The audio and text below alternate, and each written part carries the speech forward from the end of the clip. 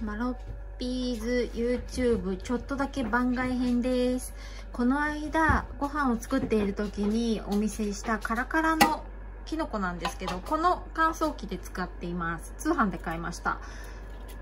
これ昨日の夜から乾燥機かけてまだね柔らかいんですね。これがパリッパリになるまであの乾燥させないとちょっと怖いのであと明日の朝ぐらいまでかな。乾燥させます。こんな感じ。電源と温度。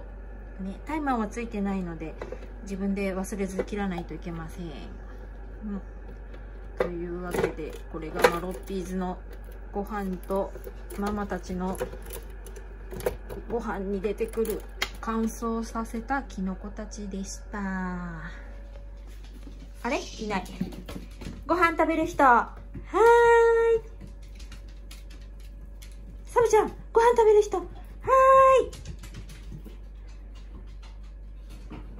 い。儀式するでやんすよ。